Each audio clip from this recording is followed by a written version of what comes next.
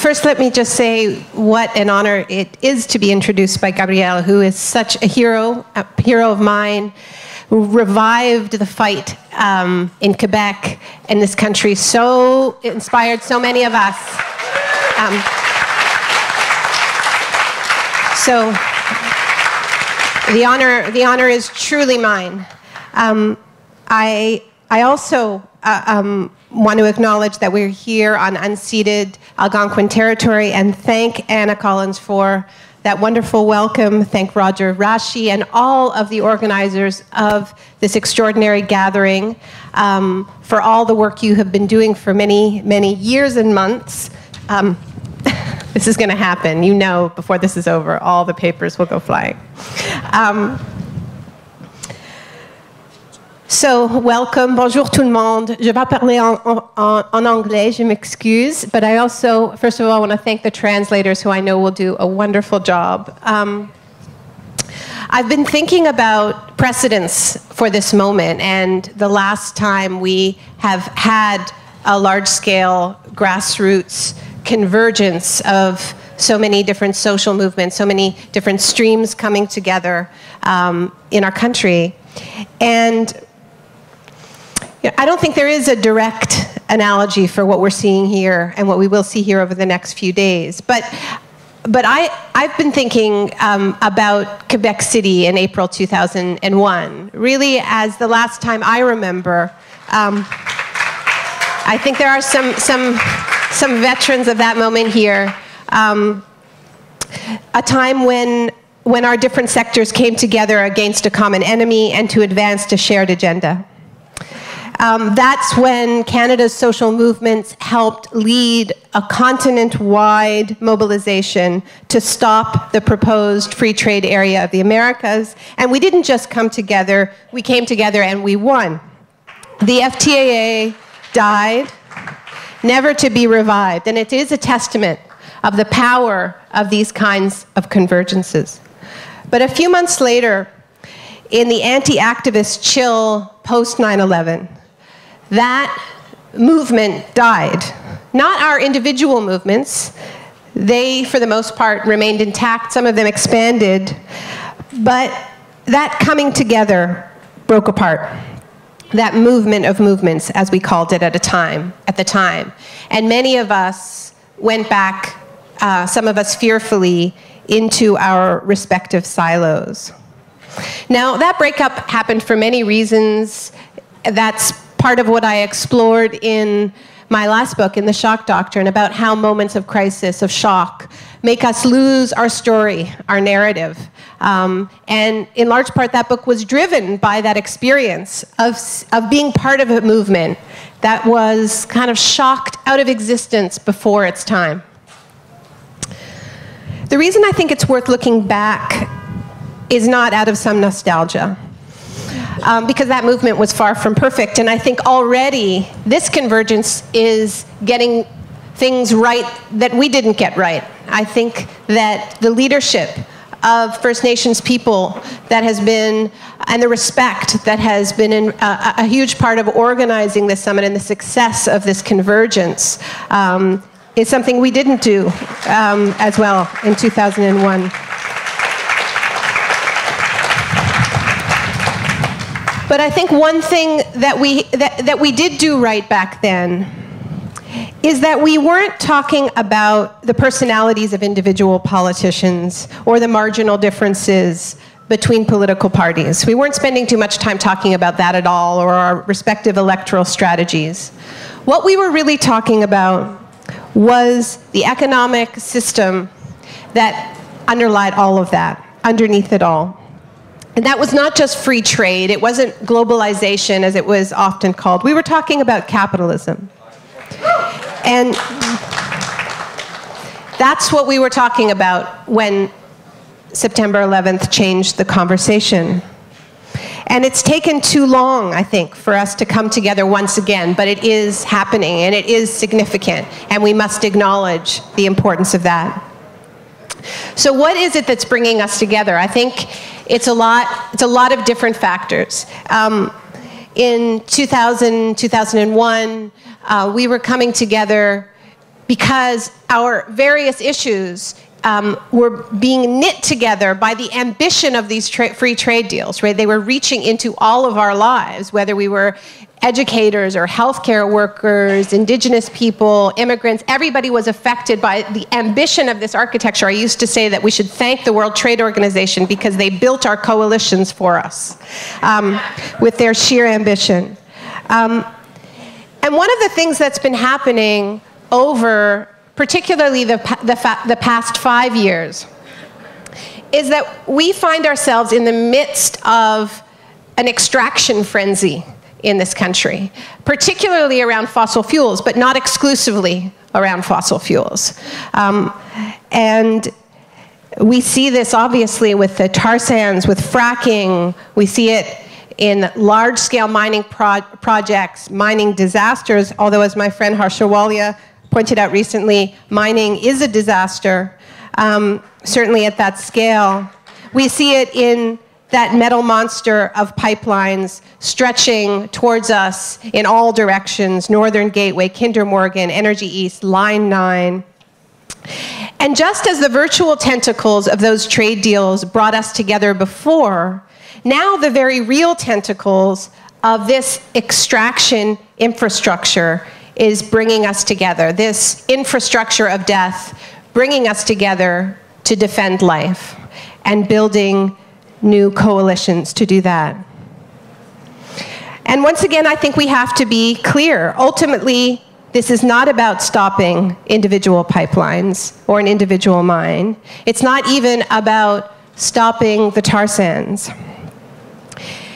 It's about the logic fueling all of it the logic that sacrifices life on the altar of money.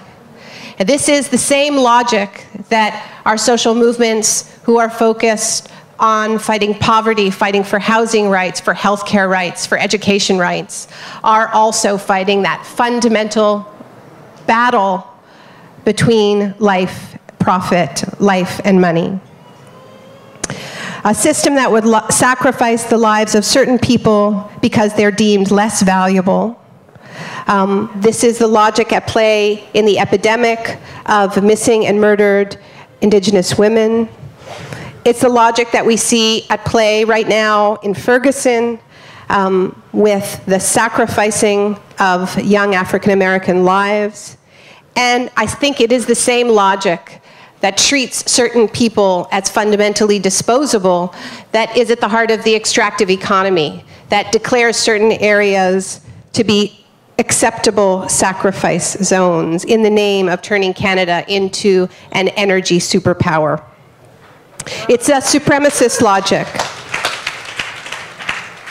It's a supremacist, supremacist logic that divides the world relentlessly into somebodies and nobodies into somewheres and nowheres, or worst of all, the middle of nowheres. This is a logic that founded this country we called Canada. It is embedded so deeply in the logic of colonialism, which was always based on the myth of nobodies and nowheres and sacrifice zones. And it is this logic, I believe, fundamentally, that we must name and that we must build a movement to counter. Because we are living in a historic time where what we do in the next 10 years determines the fates for generations to come. Because we're not just living in a moment where it's only a river, a mountain, a watershed, a culture, a species being sacrificed in the name of economic growth. It's all this and more. It's the stability of all of Earth's systems that support life. Friends, we are up against a psychotic logic that has profoundly confused destruction with creation. And that is what we have to change, not just by saying no to Harper's worst ideas, though we have to do that, but by proposing and demonstrating real alternatives, relationships to the land, and relationships with one another that are not based on creating ever larger sacrifice zones, but on protecting and regenerating life in everything that we do.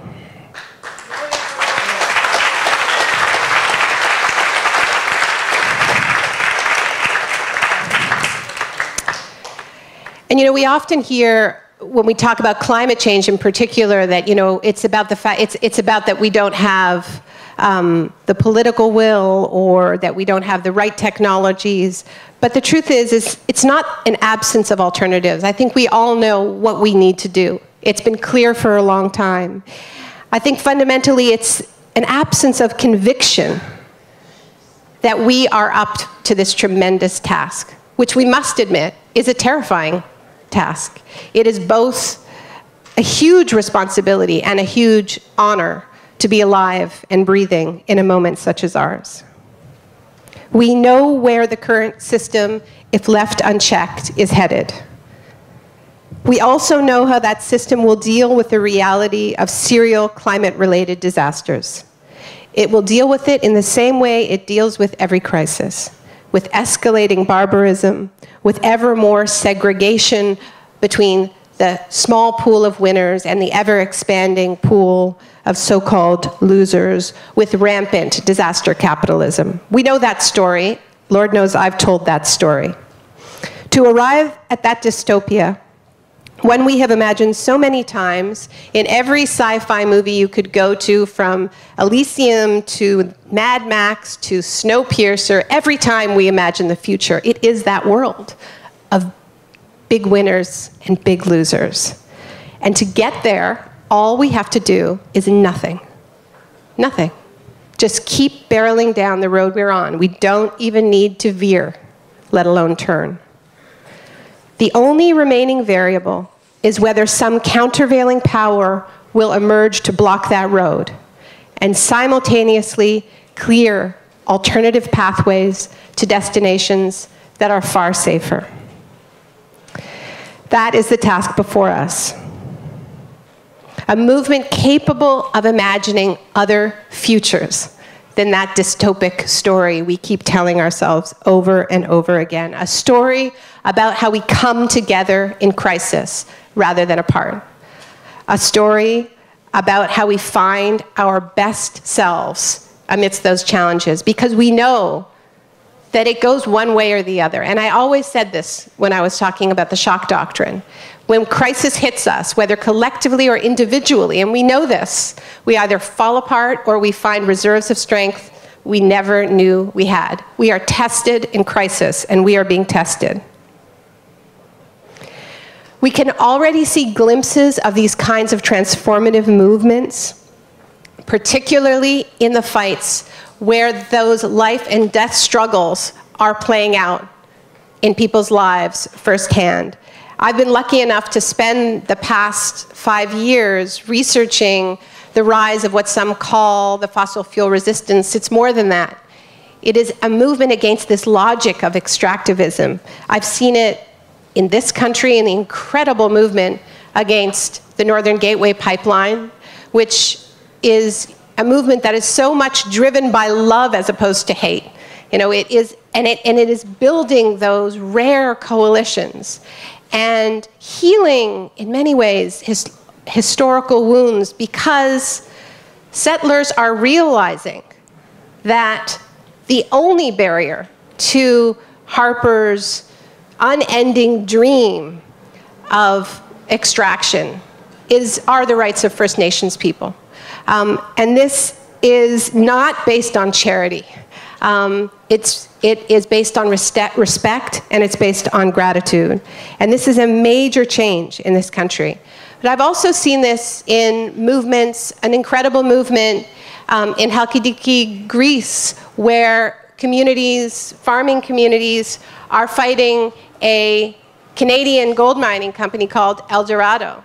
Um, and the way they're coming together, you know, people talk about how these are the, the most, it's the most intergenerational struggle they've ever been a part of. They say, we used to leave the old people at home to just watch television, but then we discovered they were the only ones who knew how to cook for 50 people.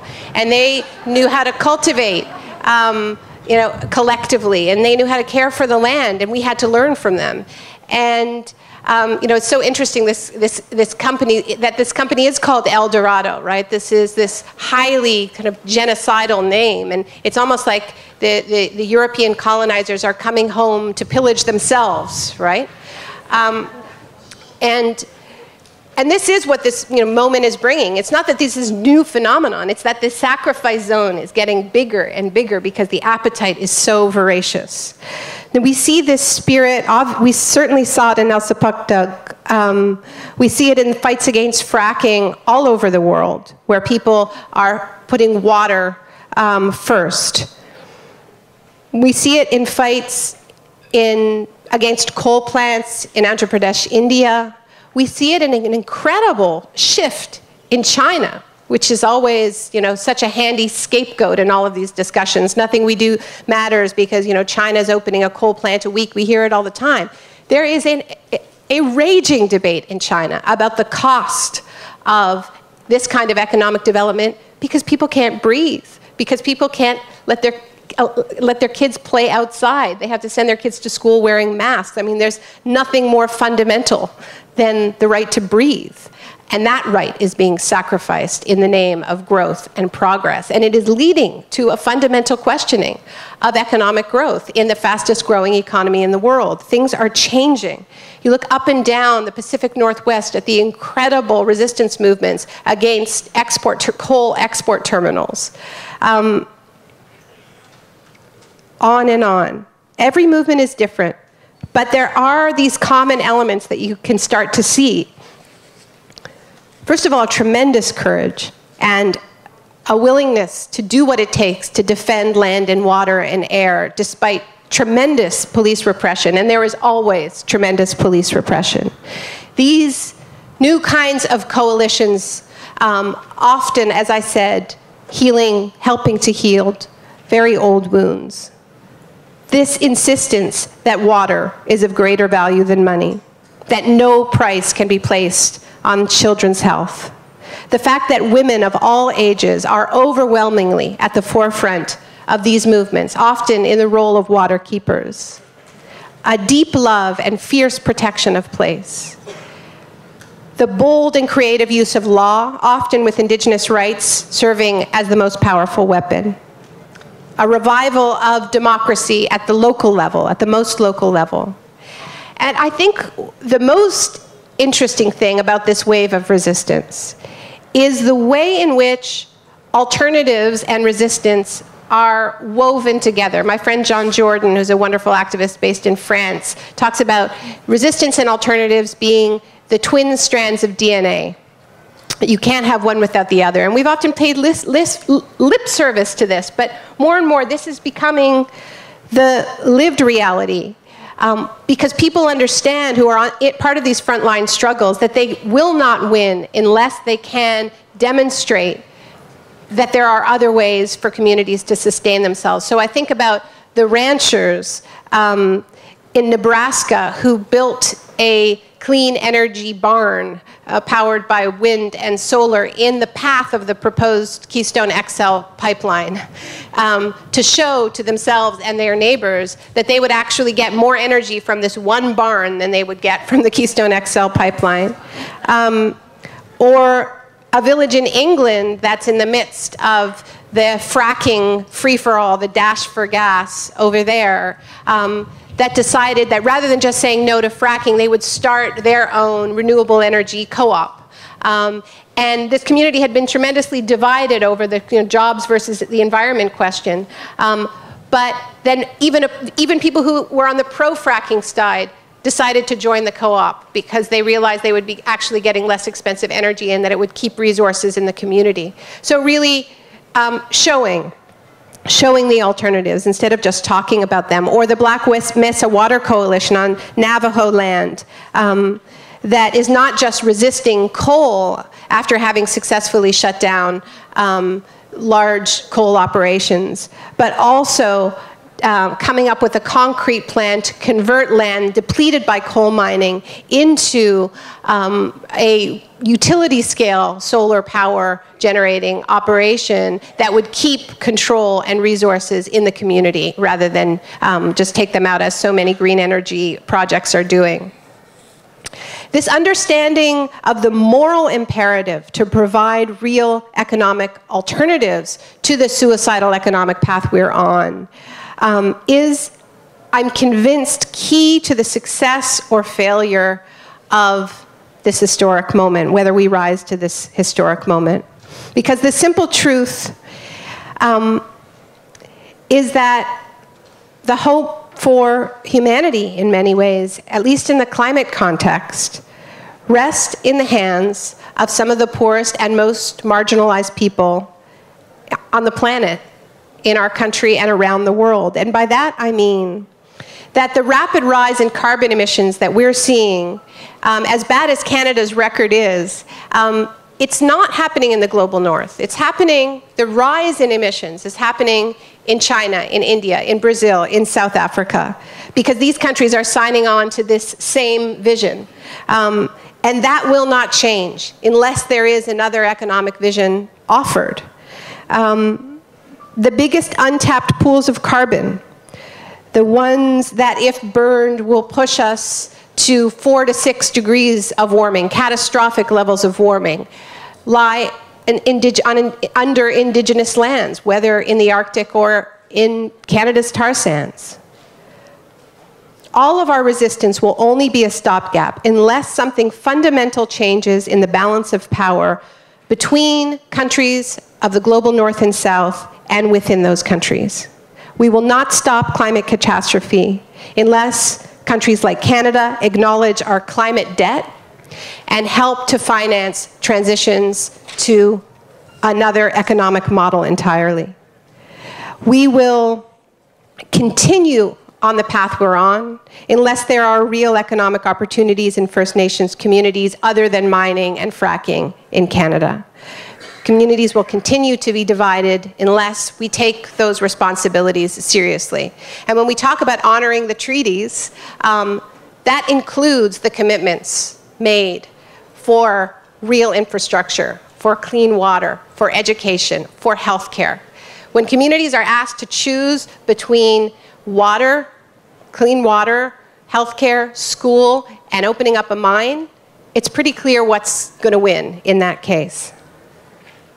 So, this is a moral responsibility, it's a collective responsibility.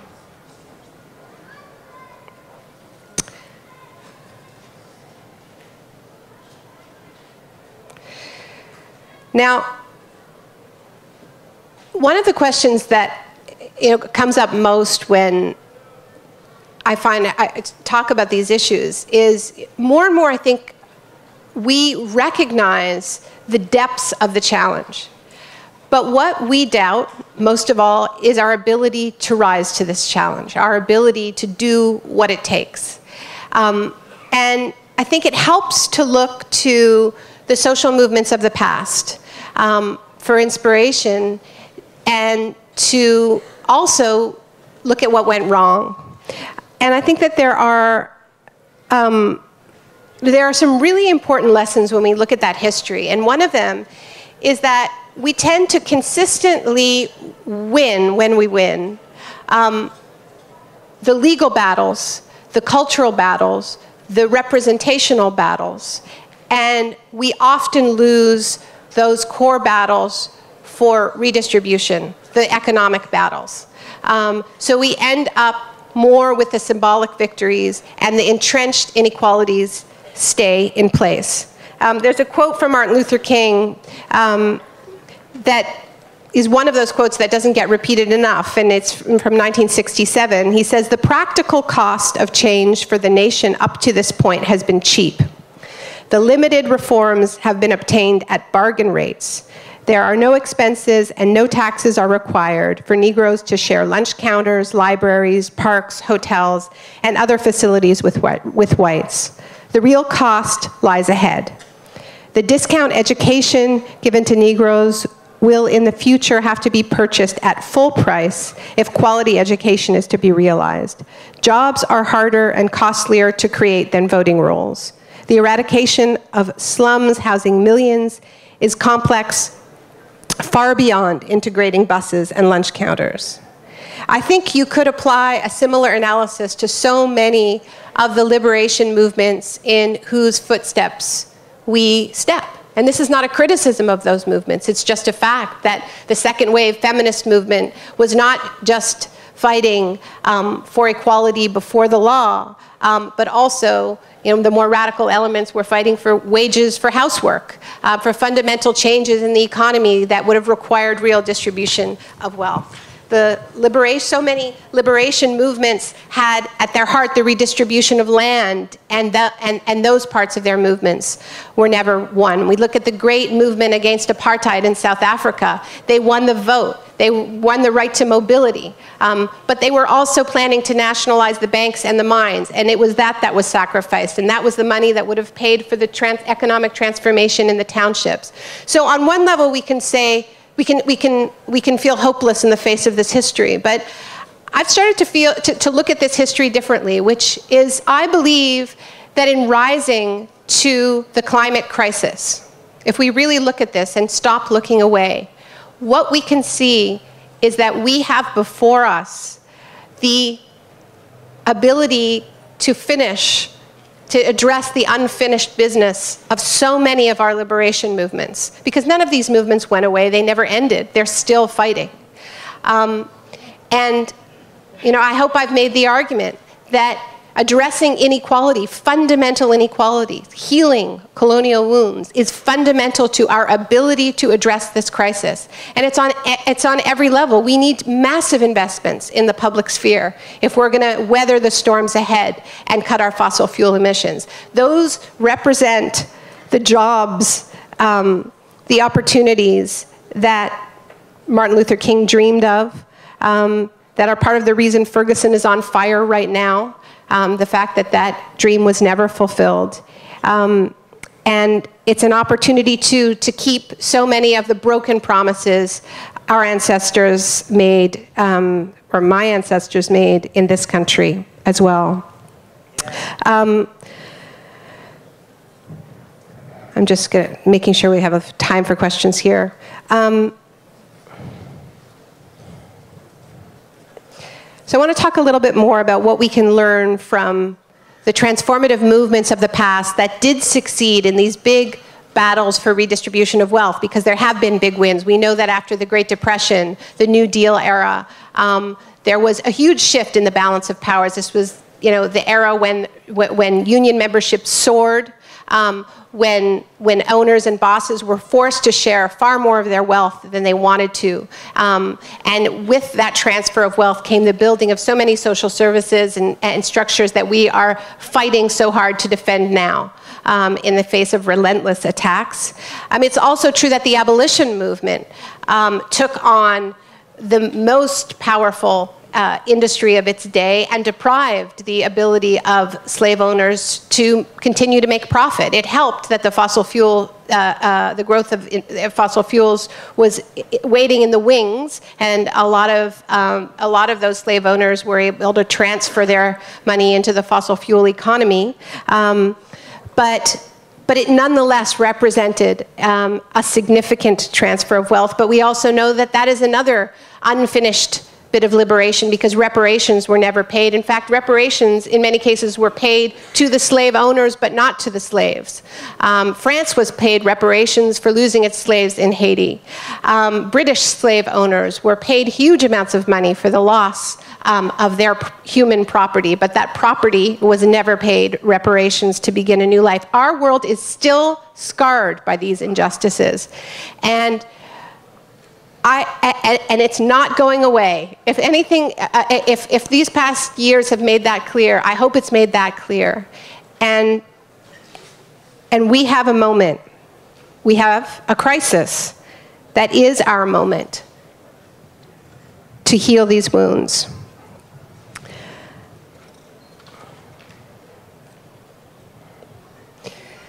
It also means that the response to climate change does not need some shiny new movement that will magically succeed where all others failed.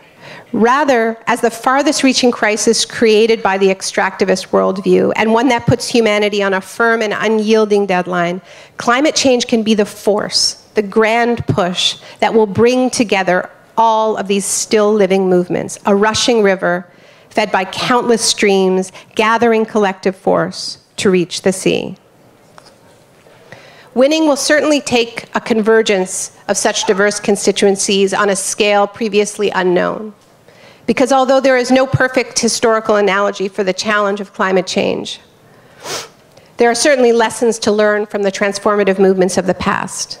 One such lesson is that when major shifts happen in the economic balance of power, they are invariably the result of extraordinary levels of social mobilization. At these junctures, activism becomes something that is not performed by a small tribe within a culture, whether that tribe is a vanguard of radicals or a subcategory of slick professionals, though each may play their part.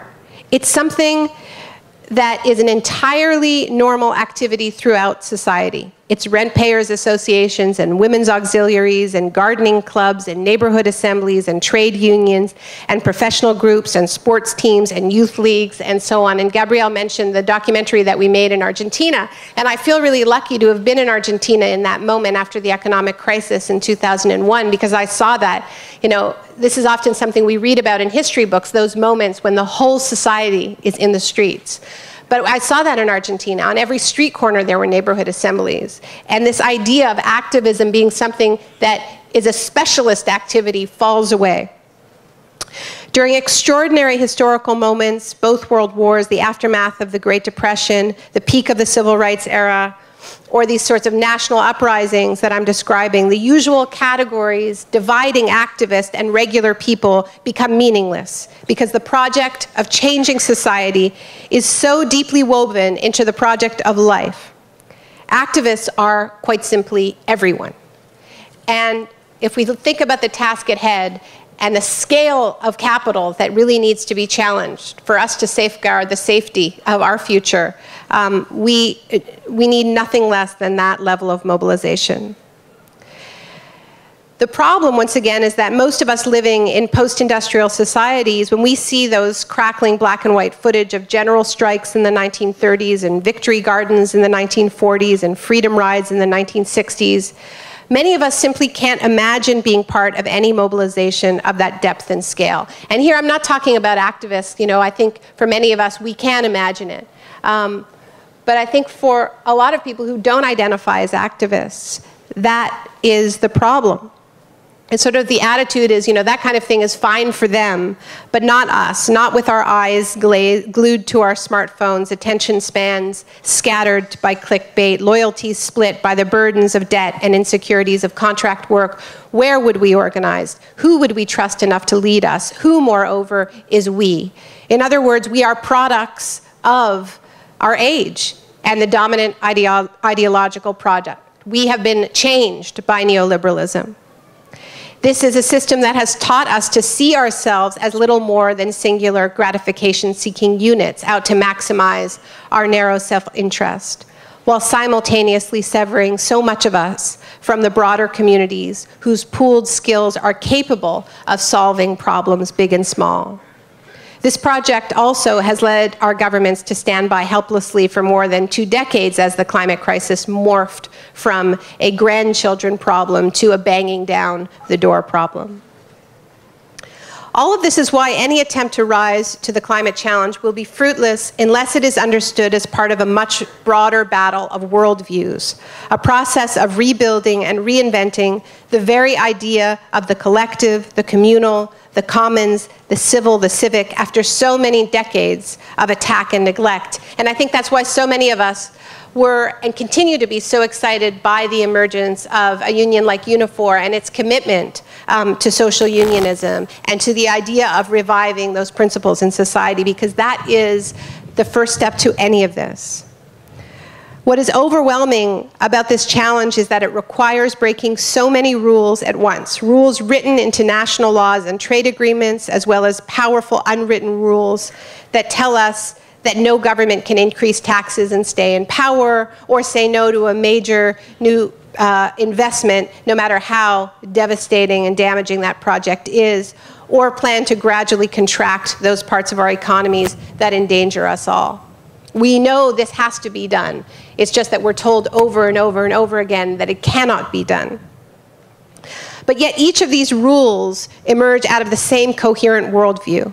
If that worldview is delegitimized, then all of the rules within it become much weaker and more vulnerable. This is another lesson from social movement history across the political spectrum. When fundamental change does come, it's generally not in legislative dribs and drabs spread out evenly over decades. Rather, it comes in spasms of rapid fire lawmaking with one breakthrough after another. The right calls this shock therapy, the left calls this populism because it requires so much popular support and mobilization in order to occur. So, how do we change a worldview, an unquestioned ideology? I think part of it involves choosing the right early policy battles to fight, choosing our battles wisely. You know, to cite just one example, you know, climate activists usually talk about a carbon tax. Um, but it may be that fighting for a marginal carbon tax is a lot less useful than forming a grand coalition to, to demand a guaranteed minimum income. And that's not only because a minimum income makes it possible for workers to say no to dirty energy jobs, but also because the very process of arguing for a universal social safety net opens up a space for a full throated debate about values, about what we owe to one another based on our shared humanity, and what it is that we collectively value more than economic growth and corporate profits.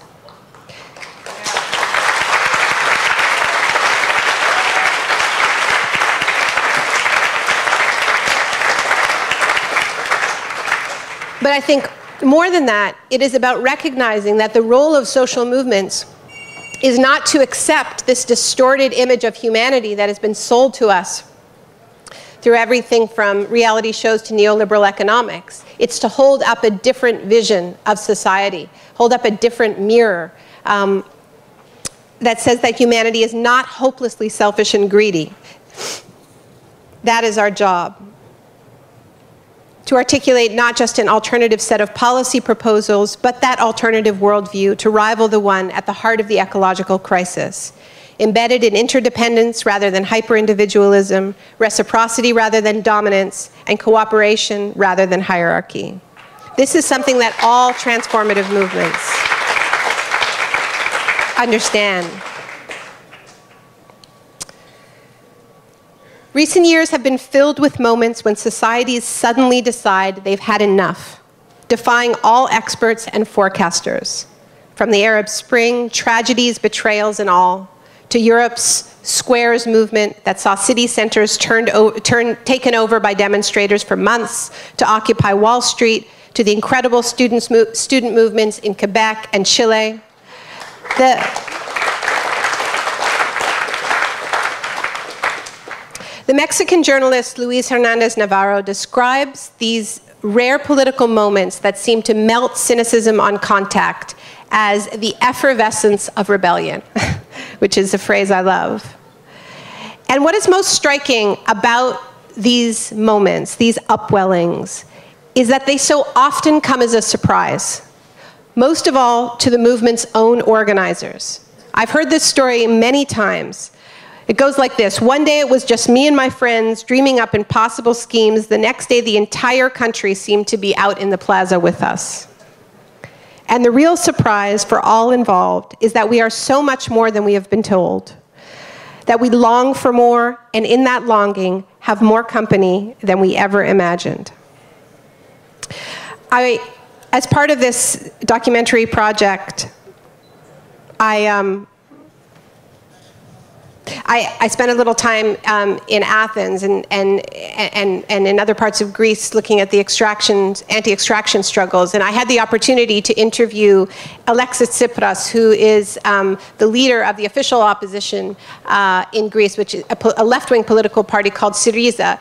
And it's a very controversial political party because for a little while there, it was really the hope of the European left. Um, and um, and in, in, some cases it, it, hasn't entirely lived up to expectations. So I had an interview with, with Alexis Tsipras uh, for the next day, and I was sitting with a group of, of activists in, um, in Athens the night before, and I asked, I was canvassing them, I said, what question, what should I ask him? What should I ask Alexis Tsipras? What would you ask? And people threw around a bunch of ideas. And then somebody said, ask him, history knocked on your door, did you answer? And I thought that's a really good question for all of us. Thank you.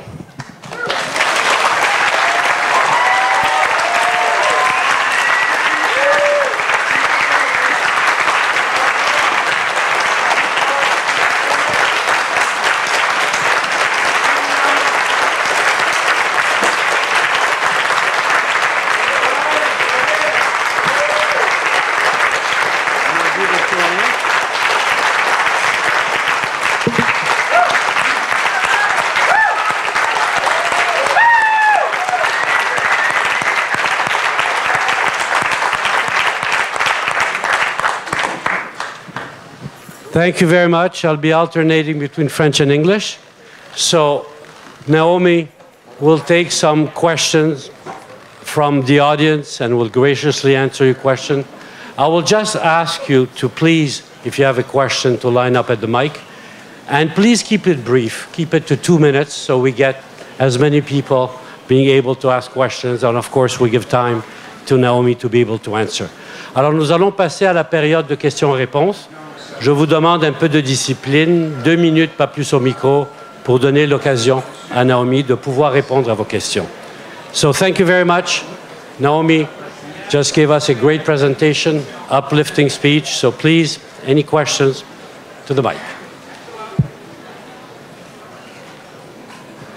Nice. You're the first. Nice. Okay. First off, I want to thank you for being my modern history teacher.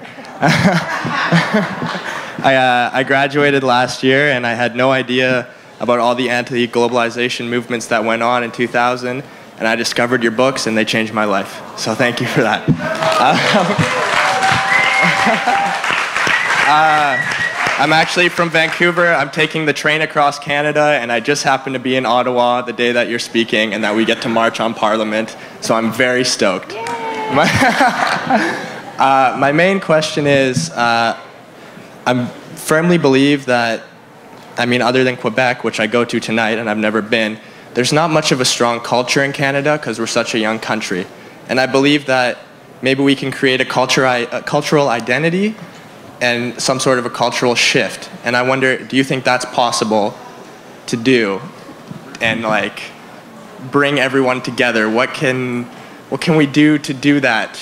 Does, is it going to be the environment? You know, yeah, I don't know. how do we bring about cultural shift? Um, well, We'll share this mic. Um, well, first of all, it's wonderful that you're here, um, and thank you for your very kind words. Um, it, you, so I guess Molson commercials aren't doing it for you for creating Canadian culture. yeah, yeah, exactly. Right. You know, I really, I, I, really think that events like this are part of the answer to that question because you, you use the word young and, and, you know and and and you know these are obviously really loaded words, right? Um, it's, it's also a very, you know, yes, the creation of this country we call Canada is young. Um, but I think what is really extraordinary about this gathering is that it is quite an unprecedented collaboration between First Nations, Quebecois culture, and Anglophone culture. And it is, that is a process of creating a new culture together out of respect and by learning our real history. Nice, cool. That's what I'm thinking too. Thank you very much. And uh, anybody else? Questions, please line up at the mic.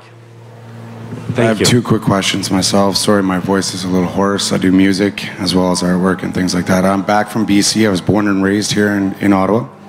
I love my city, and uh, my kids are back here with me to raise, or sorry, to grow with me as well. So, two questions. Are you a mother? Yes. Are you a mother? Yes. Okay, great. and I have seven children, by the way. I feel like all the test. same mother. All the same mother.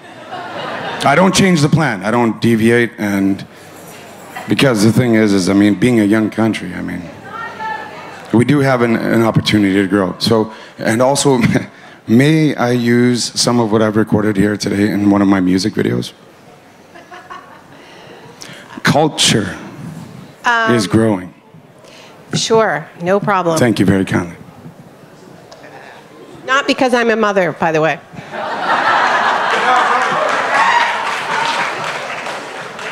My name's Firoz, Firoz Manji. Um, I have numerous questions for you. It's just great. Once again, a fabulous presentation. A incredible leader who we are honored to have in our presence.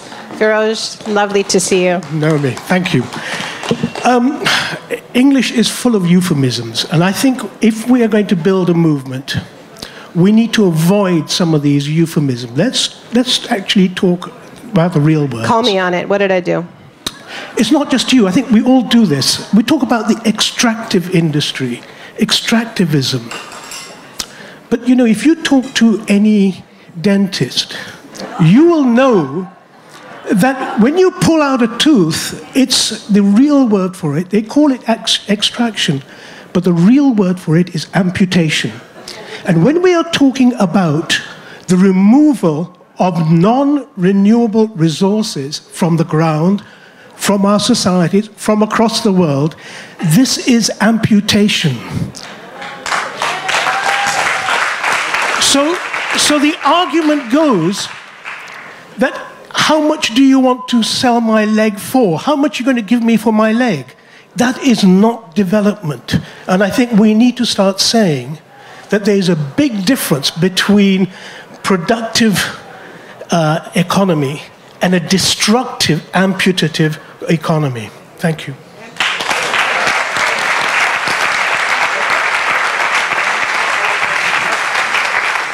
That's Firoz Manji, everyone. Look up his incredible writing. I think you just got a taste of it. Hi, my name is George. I'm from Tur Toronto.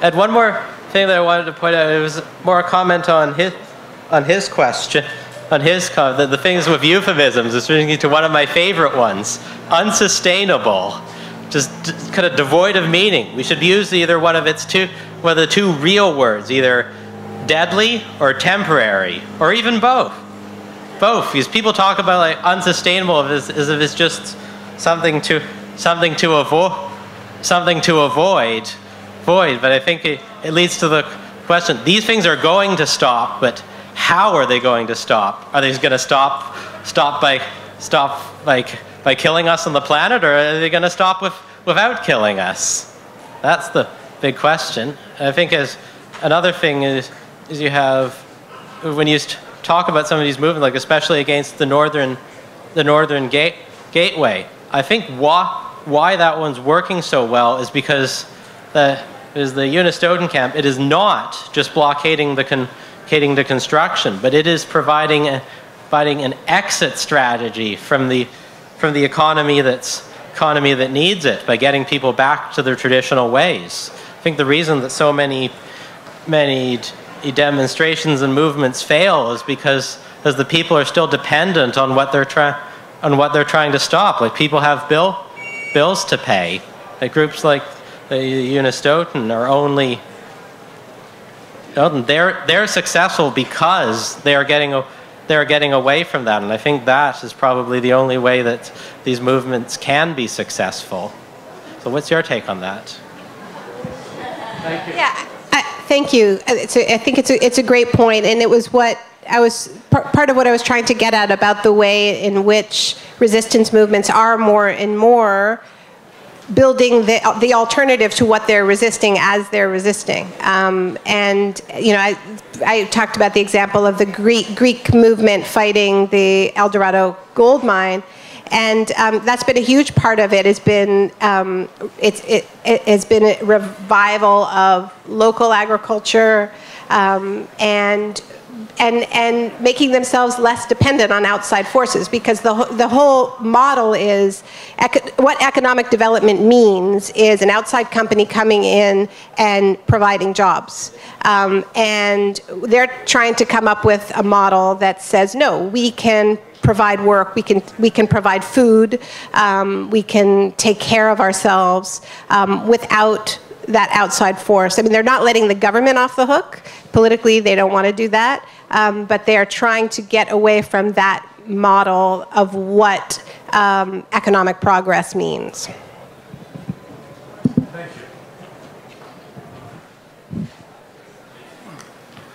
Oh, come on, there are some women in this room. Please help me out up here. I love you guys, but come on.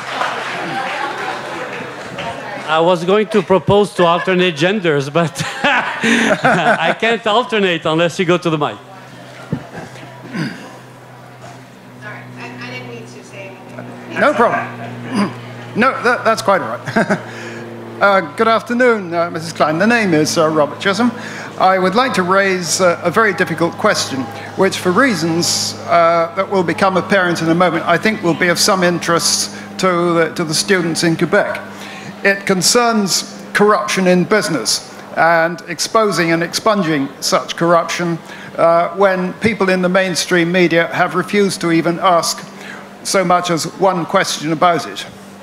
In particular, I'm referring to that huge engineering company known as SNC Lavalin. We know all about the corruption involving the bribery, improper payments, and so forth um, in Libya and a few other things.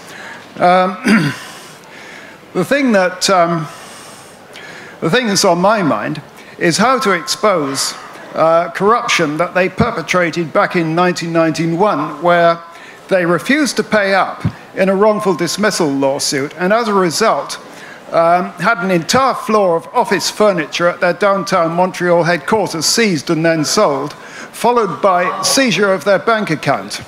And yet, nobody whom I've uh, talked to in the mainstream media has, con has uh, consented to ask the company so much as one question about their conduct. Um, I'm airing the question now. I'm not expecting any quick or easy answer to this, but perhaps um, it's something we can start to at least look at. I'm wondering what, uh, what you would have to say about something like this. Thank you. Thank you for your comment. And it isn't, I know this will come as a huge shock, but I don't have something to say about absolutely everything. I wasn't um, expecting But we are having a press conference in a couple of hours. There'll be lots of journalists there that you, you should ask, you should put that to them. Um, but th thanks for what you said. Oh, great stuff. That's a good start. Thank you so much. Thank you. Thank you. Please. You called for women to come to the mic. Okay, you've Thank called, you. You've called for some. really You've called for some voices. Uh, May Chazen, thanks very much. Um, I'm going to keep it very short. You made mention that uh, the biggest growth in fossil fuels is coming from the global south, China, India, South Africa, Brazil, and a need for alternative visions. But I'm just curious if you have any suggestions for alternative visions, because I worry that sometimes we turn the responsibility to people in the global south to cut their fossil fuel emissions when in fact we're the ones who got us into this mess in the first place and so obviously we have some responsibility um, in yeah. curbing our own fossil fuel use and not relying on them. Yeah, that's a great, a great um, question. And um, and I don't, I didn't mean to imply that it is a, it, you know, that, that we're off the hook in any way. It's just a fact in terms of where the growth in emissions are at, is that even if we in the north curbed our emissions, you know, pretty sizably, um, we, we would still be on a, a pretty terrible path, right? Um, because the, the, growth in emissions, and that's what's really changed basically since 2000. Like before 2000, global emissions were going up by about 1% a year. And then in, in 2000, starting in 2000, over the decade, um, emissions started going up by around 3.4% a year. And if you look at where those greenhouse gases are coming from, the, it, it, it is, it, it's intimately tied to the so-called emerging economies, which some people joke are like the submerging economies. I mean, it's an incredibly bizarre word, emerging economies, but that's the discourse as if they didn't exist before. And um, so it's not a question of um, saying we're off the hook. The, qu the, question is, if we do nothing, this is going to continue to happen um, because it's the only economic development path uh, um, that, that is on off, offer. And if you go to the climate change summits, um, basically you know, the, the, the, argument is, well, you started it, um, and you're not doing anything, so we're going to do what you did even faster and on a bigger scale, and you know this is not working. So the counter argument to that is climate debt that I mentioned, which is which is essentially what our governments have already agreed to. Although Canada, you know, bailed from the Kyoto Protocol, but in the original climate change convention was the principle called you know, common but differentiated responsibility. And common but differentiated responsibility means that we recognize that everybody has a shared responsibility to stop catastrophic warming, but the countries that got a 200-year head start on emissions need to start first. And that was built into the Kyoto Protocol. That's why the US never signed it explicitly. They didn't sign it because they said if China's not signing it, we won't sign it. So this has been the fundamental issue that has broken down all climate negotiations, is the refusal to recognize historical responsibility. Um, so in terms of alternatives, there's all kinds of alternative models. You know, one of the most inspiring one was was one that was developed by a group in Ecuador called Acción Ecológica for the Yasuni National Park. Um, and this is an incredibly biodiverse, rich rainforest area. Um, you know, this statistic like there's you know more species of trees in one hectare than are in all of North America, and um, and it also happens to have a whole hell of a lot of oil underneath it. And so the proposal was it is not only Ecuador's responsibility to keep that oil in the ground, it's the responsibility of the world, but particularly of the industrialized countries that created the climate crisis. So the proposal was for um, compensating Ecuador for leaving the oil in the ground and for that compensation to go towards investing in social services and in um, green energy models, right? So Ecuador should not have to sacrifice um, its right to fight poverty because of a crisis it did not create. Um, but neither you know, is it free of all responsibility. So you know that was a fantastic plan, um, and and the world governments didn't step up. You know, um, and and now Rafael Correa, the president of, uh, of, Ecuador, is now saying he's going to drill in the Yasuni. Um, and I think it's a really classic example of what happens when you have that abdication of responsibility. But there's no shortage of models, you know? Like, really, really great work is going into this. And um, there's a, um, yeah, I think Acción Ecológica is actually one of the most visionary of these um, environmental organizations. They really pioneered the concept of, ec uh, of ecological debt and then climate debt. Thanks. I'd love to read some more about some of the alternatives. I don't know if it's coming out in your book that you've come, come across, and um, just kind of add to the discussion the question of what do we actually have to give up if we're serious about solidarity with Indigenous communities, if we're serious about solidarity in the global South around climate justice. Thank you. And next sister? No, no, no, no, no, no, A humble suggestion because I was in the middle, I and know, the din is so strong of the people talking. So no I'm problem. asking the speaker, uh, the Thank questions, you. to speak louder, and maybe the people around uh, to have a din lower, like whisper among yourselves, please. S'il vous plaît, merci. Merci beaucoup, Jivan. Please, sister. Uh, I just want to give a shout out to my first year professor who introduced me to your writing. Um, it was amazing, so well written. Just, ah, it really made me feel like I could do something just because I was so much more knowledgeable about what was going on. Um, so my first book was um, The Shock Doctrine, which I read a little bit, just a little bit. I'm still working my way through it because uh, it is quite dense.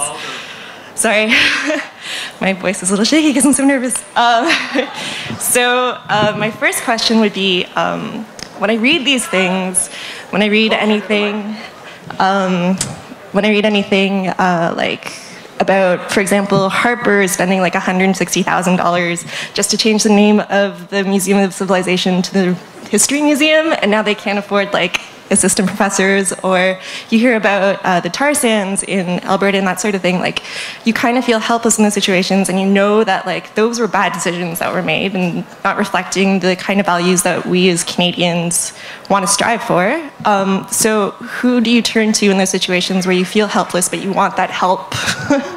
and you want to feel like empowered and able to do something or where you can like feel like yeah just you could do something thank you for thank you for speaking um, and and for your kind words, which I did hear, even if other people didn't. Um, and uh, and and it's you know it takes courage to go to the mic, by the way, people. Um, so thank you. I, I, mean, the only thing I would say is just that you're in exactly the right place, you know? Um, and that's what I think most of all convergences like this are about, is about realizing that we're stronger than we think we are. Um, and that, you know, the problem with staying in our respective silos um, is that we, we feel weaker, you know? Um, this, this you know, we have seen some incredible social movements in the just in the past few years. I mean, I don't know more. The Quebec student movement, these incredible resistance movements against the pipelines, things are changing. Um, part of what makes us feel helpless is that it's not reflected by our major political parties in any way, shape, or form, and it's not reflected in the media. Um, so you know, we get a really distorted picture of ourselves reflected back to us from both the political culture and the media culture. And that's why these face to face gatherings are so important because it's a really good reality check. because um, we're not as isolated as we think we are, and we have real power. And this is not just, you know, I think you, people are going to hear uh, later today uh, uh, um, on Parliament Hill, tomorrow also from Clayton Thomas Muller who's an incredible leader in this country, um, on you know with Idle No More defenders of the land, you know, Clayton talks about how, you know, the, the importance of the labor movement coming together and the indigenous rights movement coming together as forces that really can interrupt the flow of business as usual. This is not just about having a big rally. Big rallies are cool, right? But it is about actually looking for the vulnerabilities in capital. I mean, when you think about indigenous land rights in this country, that what that actually means is that a lot of the resources, the vast majority of the resources that that's, those mining companies want to get out of the land, they don't actually have a right to extract. And what they are banking on is that there isn't the political power behind those legal rights to stop them right? And that is what we need to change. And that's where these coalitions, you think about workers coming together. We're going to have to wrap it. Mm? We'll have to wrap it. Thank yeah. You. Okay. Thank you very much. Thank you very much for coming to the mic. It's been a while uh, for Naomi up here. Also, it's very important. Our next move is, of course, going to Parliament Hill. So let me point out that you have some school buses there, which will ferry you to the War Museum. And at the War Museum, it will be one contingent, and as I explained earlier, there's another contingent coming from the Gatineau side and a contingent coming from Victoria Island. So, in order to be able to get everybody to the rallying point, and then so that we could start the march, the, the bus organizers have asked me to propose this to you. When you line up, line up against that wall at the end of this little square here and try and form as much as possible groups of 50 because each bus can take 50 people and there will be marshals there to try and help you to get on the buses. So thank you, Naomi, for coming out tonight. Thank you for being here. Thanks to you all for making this a great event because the event is not being up here, the event is being down there. Thank you, and thank you, Naomi.